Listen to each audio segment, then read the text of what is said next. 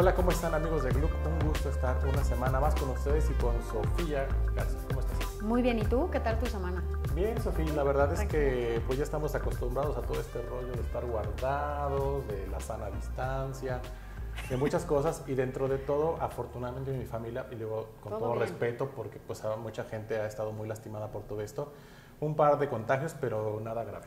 Bien, la verdad es que sí se agradece ahora más que nunca la, la salud y como dices, más mucho más, o sea, sí de todo el mundo, pero los cercanos, bueno, pues hay que hacer mucho para que se mantengan todos con salud. Pero bueno, fue una semana interesante. Fue una semana interesante, vamos a tocar buenos temas. El primero, pues esta vacuna, justamente la Sputnik 5, que tanto se habló, que tantos dimes y diretes se dieron. Me parece que mi primera eh, reflexión es, pues cuando se cuestionó la vacuna Sputnik 5, no había información acerca de cómo iba a ser. Y me parece que de una manera, no sé si irresponsable o prematura, el gobierno se adelanta a comprar un número elevado de vacunas. Hoy sabemos, y ahorita tú nos vas a, profundizar, hoy sabemos bueno, que es una vacuna que al parecer va encaminada a que sea una muy buena vacuna, pero a ver, creo que no es criticar por criticar. Cuando se pidió eh, o se solicitó a Rusia, no sabíamos qué estábamos comprando. Así es, la verdad es que, como dices, incluso en este espacio cuestionábamos de qué se trataba esa vacuna, porque no teníamos claridad, incluso deja nosotros, la comunidad científica no tenía claridad de cómo se había desarrollado esta vacuna, incluso porque todavía estaba en esta fase 3 que no eh, decía realmente cómo iba a terminar todo este proceso de, prueba que hace. Sin embargo, bueno, pues hoy parece, después de la publicación que hace la revista británica The Lancet, esta revista que es muy prestigiada sobre todo por el porque la conforman y discuten y ahí escriben científicos de todo el mundo, en donde, bueno, pues hoy las vacunas son el gran reflector. Ahí en esa revista, científicos de todo el mundo hablan muy bien de la vacuna por el desarrollo que ha tenido, dicen que ha dado muy buenos resultados y que, bueno, pues eso nos da un respiro. Creo que nos quedamos con un buen sabor de boca, sobre todo porque México ya adquirió 20 millones, ya la COFEPRIS ya dio el registro emergente para que pueda entrar esta vacuna y se puedan vacunar a, bueno, pues a millones de personas.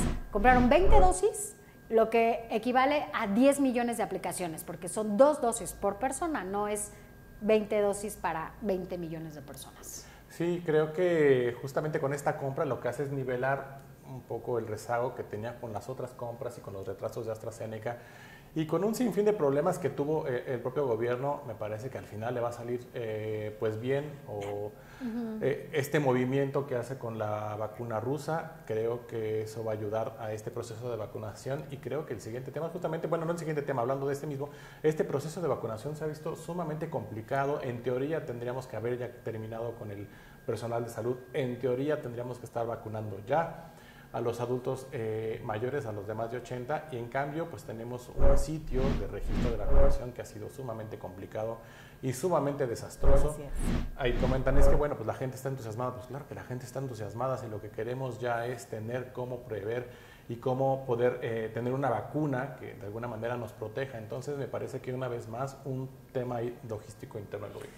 No, bueno, pues es que cuando escuchamos a los funcionarios todas las mañanas, incluso el presidente en esta reaparición, hablando de números, de estos números en donde hay 20 millones de vacunas adquiridas, otros millones de vacunas de Astra, otros millones, millones y millones y millones de vacunas, pues está padrísimo. El problema es solamente bañan de esperanza a toda la, a toda la población que va a recibir supuestamente esta vacuna y al final no se ha aplicado ni el 1% de las, de las vacunas que se han eh, dicho. El personal médico bueno, pues hay personal médico que sigue falleciendo porque no tienen esta vacuna. Los adultos mayores, bueno, es de risa. A ver, quienes más han padecido en esta pandemia la comunicación justamente son las personas de la tercera edad, porque ¿cómo se comunican? No están tan familiarizadas con, la, con las redes sociales. Decían eh, algunos eh, hijos, hijas que estaban tratando de escribir a sus eh, papás y mamás a la a esta plataforma para que reciban la vacuna, se les cayó el sistema a los 15 minutos, ¿no? Entonces, vaya, es la verdad una catástrofe todo lo que está pasando y es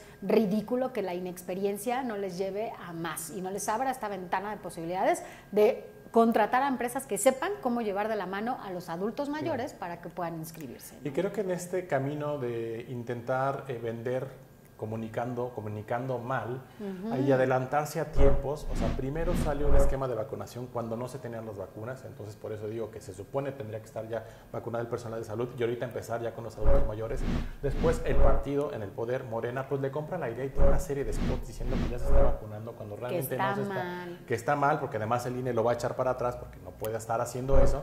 Pero vaya, creo que hay una ansiedad y un ánimo de vendernos cosas que no son reales. Me parece que como sociedad esperaríamos que el gobierno se tomara su tiempo y si, bueno, pues el esquema de vacunación comenzará en marzo, porque tiene que comenzar en marzo, porque las vacunas van a estar listas, pues que comience en marzo. Pero este ánimo de vamos muy bien, ya estamos vacunando, saquemos spots, me parece que lejos de ayudarles, hace que la gente esté mucho más inquieta y más molesta. Claro, y confundida, porque además eso es lo que han hecho desde el inicio de esto, ¿no? Con las eh, cifras así tan esperanzadoras, es solo confundir a la población de lo que está pasando. A mí me pasó hace poco, o sea, eh, una persona que no traía cubrebocas, le decía que bueno, pues que se pusiera el cubrebocas. No, ya me dio COVID, pero además pues ya, este, ya vienen las vacunas, ya nos están vacunando a todos. Y yo, no, a ver, señor, controles, no están vacunando a nadie. A ver, a usted quién sabe si le toque vacuna. Y no está hablando de una persona a la tercera edad. Vaya,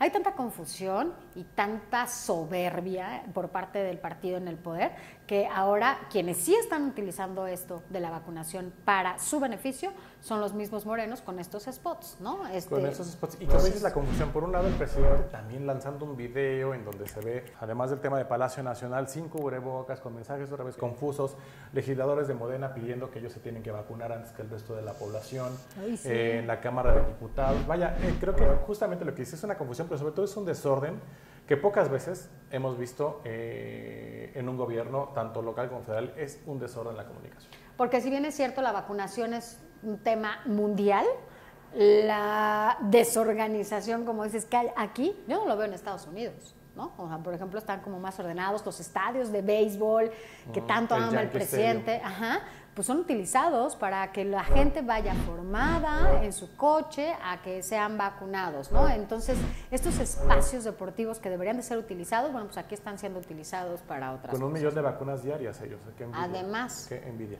Oye, Sofía, bueno, pues en el otro tema que queremos tratar, o el otro tema que queremos tratar, es justamente esta detención del famosísimo gobernador Mario Marín, el exgobernador de Puebla, el exgobernador priista de Puebla, que bueno, fue un caso en su momento sumamente complicado cuando se filtran esta, estas llamadas, ¿no? que los filtra la jornada y después también Aristegui en, su, en ese momento programa de radio en W Radio. Y a partir de ahí pues es un escándalo eh, que justamente lo que hace es evidenciar pues el tema del poder en México y este tipo de personajes que son lamentables. ¿no? Así es, y bueno, un poco el hecho de que no se le había tocado a este personaje durante años, desde 2006, 2007, no se le había tocado y ahora, bueno, pues casualmente, digo, está bien, no hay que dejar de lado lo que hizo la Fiscalía General de la República, vaya, hicieron la chamba que les toca hacer, ¿no? Ojalá si lo hicieran con todos aquellos personajes que pues cometen algún delito en contra de alguna persona o eh, particularmente en contra de una mujer, porque el 90% de esos delitos pues, son impunes.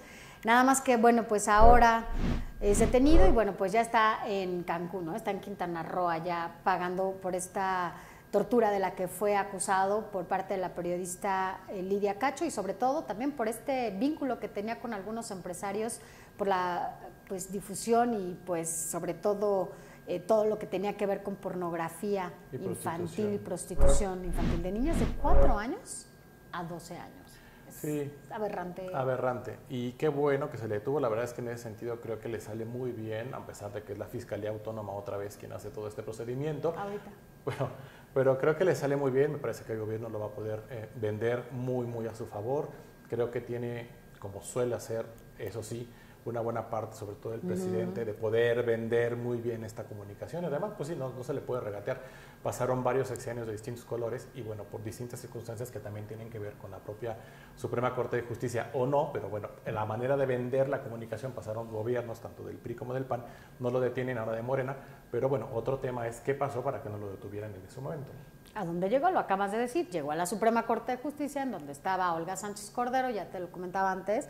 Eh, leía la columna de Alejandro Sánchez, en donde nos hace un, pues nos recuerda un poco dónde estaba Olga Sánchez Cordero cuando el tema de Mari Marín llegó a la, cuando ella estaba ahí, y bueno, pues exoneró al gober precioso que le llaman, de en ese momento del delito que se le acusaba, y bueno, pues a quien le fue mal fue a Lidia Cacho, que además la habían arrestado en ese momento, y se la llevaron a Puebla, en donde bueno, pues la tuvieron ahí un buen rato lastimándola, y además en donde se evidenciaba a partir de de conversaciones, ¿te acuerdas este empresario?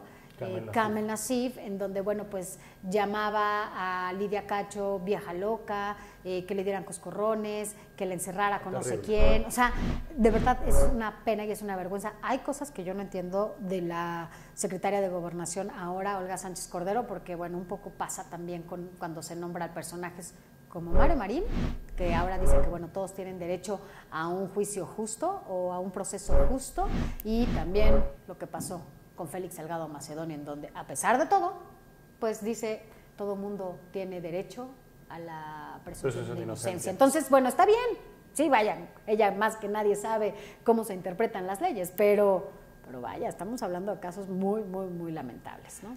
Yo para concluir, justo creo que ese es un buen tema para el gobierno del presidente, a pesar de que fue la fiscal autónoma y el gobierno de Morena haber detenido en este momento a Mario Marín, pero sí también creo que hay una serie de pendientes interminables, empezando, y me parece que justo tú decías, coinciden que lo arrestan en, Guerrero a Mario Marín, justamente con lo que pasa con el estado de Guerrero. Creo que la presión cada vez viene más fuerte. Yo ya hoy vi que 100 legisladoras de distintos estados de Morena están haciendo una petición para que se le quite la candidatura a Félix Salgado Macedonio porque tiene acusaciones de violación.